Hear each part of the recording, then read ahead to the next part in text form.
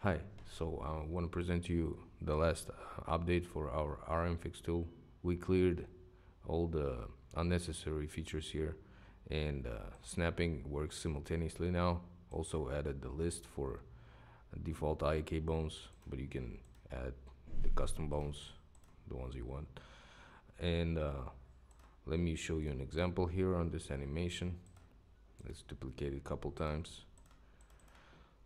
So this is the animation, uh, has no root movement and the direction is uh, off, so we need to change the direction. Let me select both of them real quick. Uh, fix animation sequence. We'll transfer from pelvis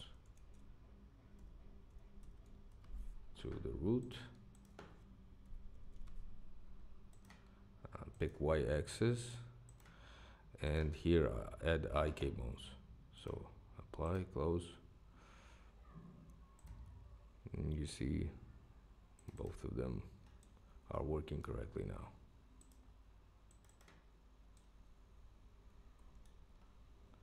Okay, regarding other features, the ones who don't know, this is the remove the root motion. This is uh, an option for clearing uh, offset, like in cases like this. And this is to add custom offset to any bone.